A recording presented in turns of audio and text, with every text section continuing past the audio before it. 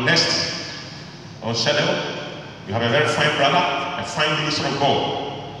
He fellowships with Dunamis Center, the power of house, or the house of power in Taifa, Accra.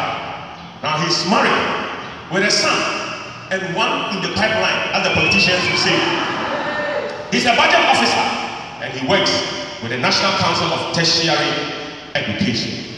Ladies and gentlemen, shall we receive the ministry of student pastor Eric Siaw Hallelujah. Do it better to Jesus.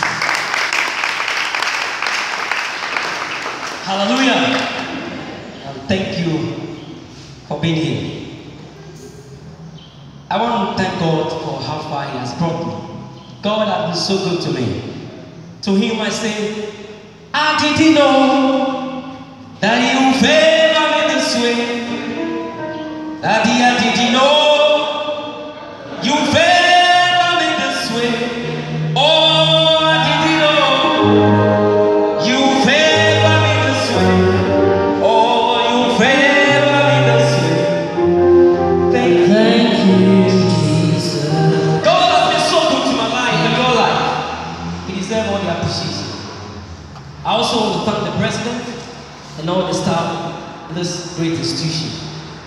for their mentorship.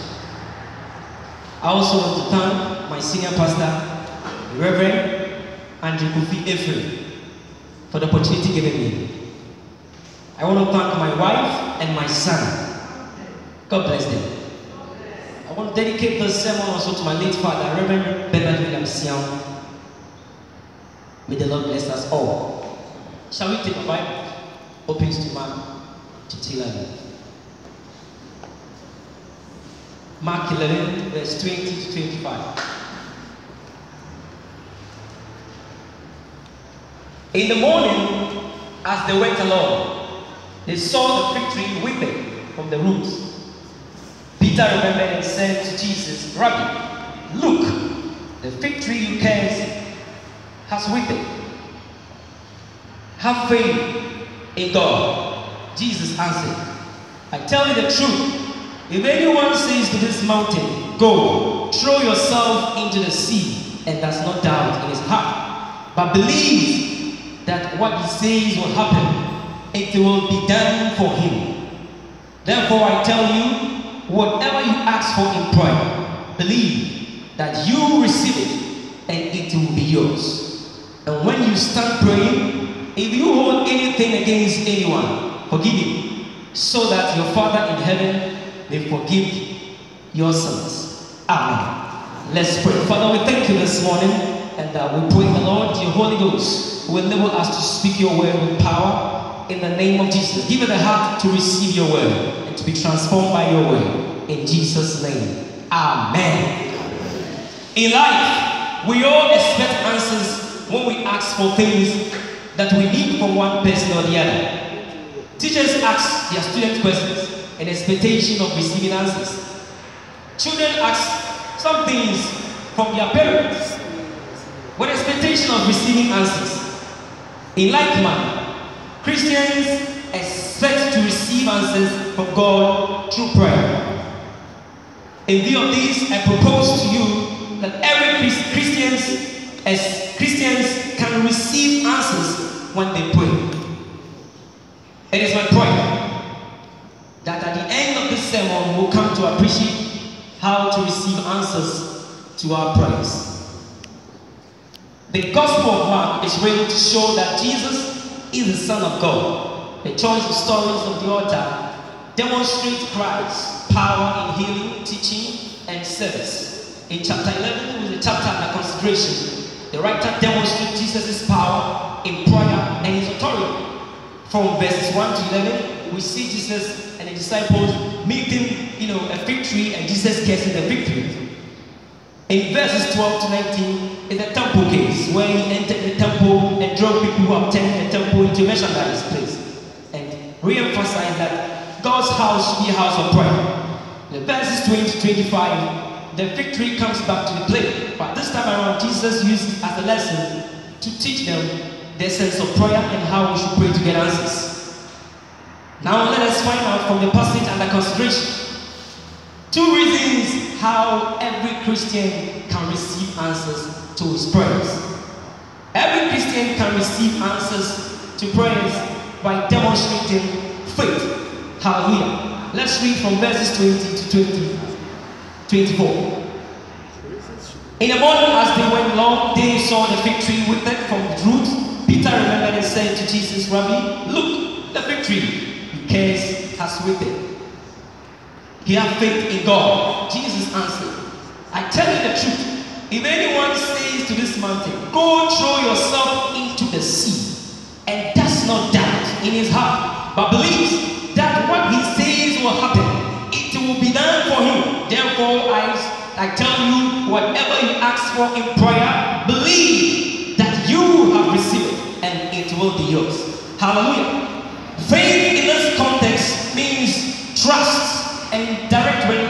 On God.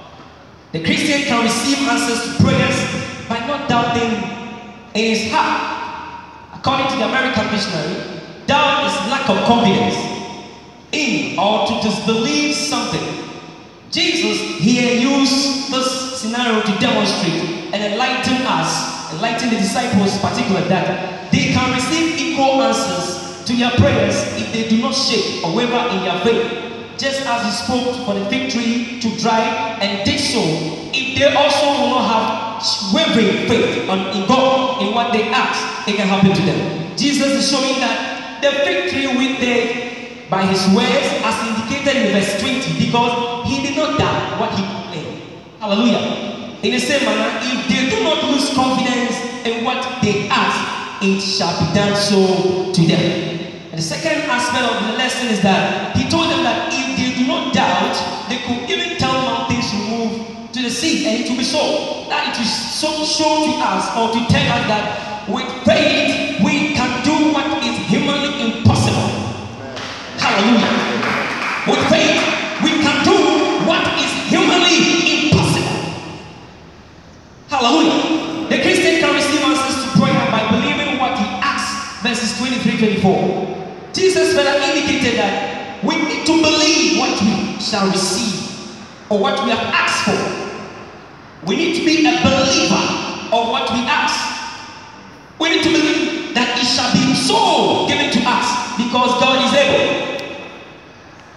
Amen. In conformity with His will and submission to God. When we believe God and believe that He is able to do, Jesus is telling them that it can be done. In Luke 11, verse 10, let's look at what is here. Everyone who asks, are we here?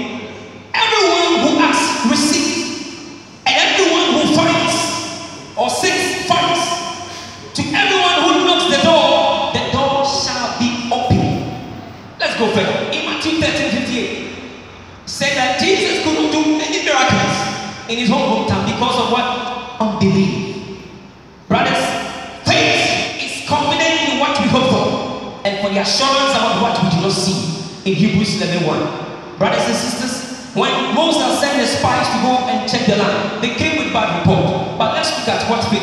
In Numbers 14, verse 8 to 9, Caleb said, If the Lord is pleased with us, he will lead us into the land, a land flowing with milk and honey, and we will not give, and he will give it to us. Only do not rebel against the Lord,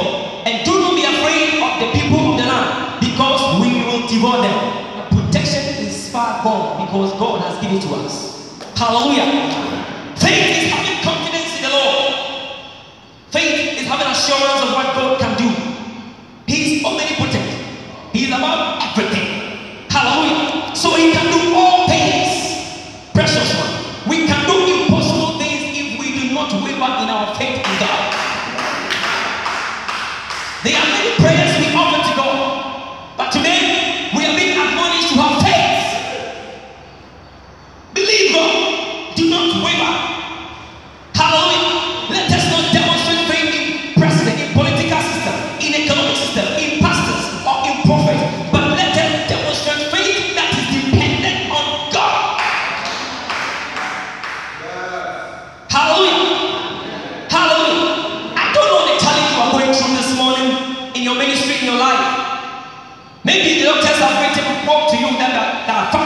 Slam.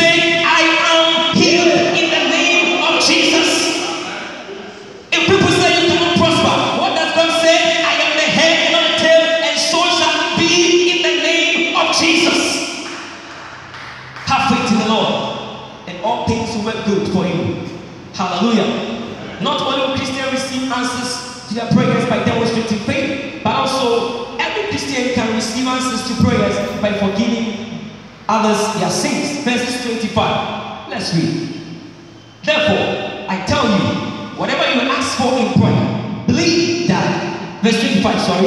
And when you start praying, if you hold anything against anyone, forgive him, so that your Father in heaven may forgive your sins also. To forgive from the passage means to do away with an offense.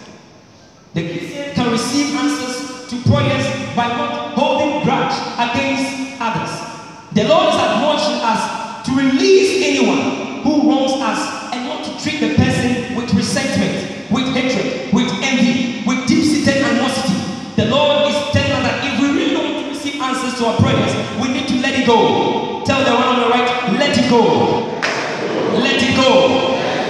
The Christian can receive answers to prayers by also forgiving one another. God the Father has forgiven our sins, so we also have an example to follow. Forgive one another of the sins they've committed against us. Ephesians 4, verse 32 says, And be kind one to one another, tender hearted, forgiving one another, even as God, for Christ's sake, has forgiven us. Precious one. Christ admonishes us to forgive one another in order to receive our prayer. Even though we are all pastors, we are expected, even though we are expected to live above reproach, yet as humans, we are likely to offend one another. When it happens, let us move with love and forgive one another so that we can live in harmony. Some associate pastors may have grudge with their, senior pastors.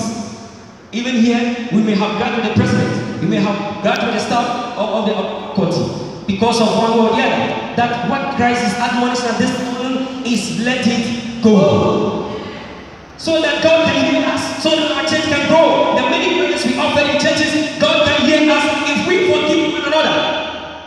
40 days fasting and prayers is not a solution. The anointing oil is not a solution. The poured water is not a solution. The solution is forgiving one another.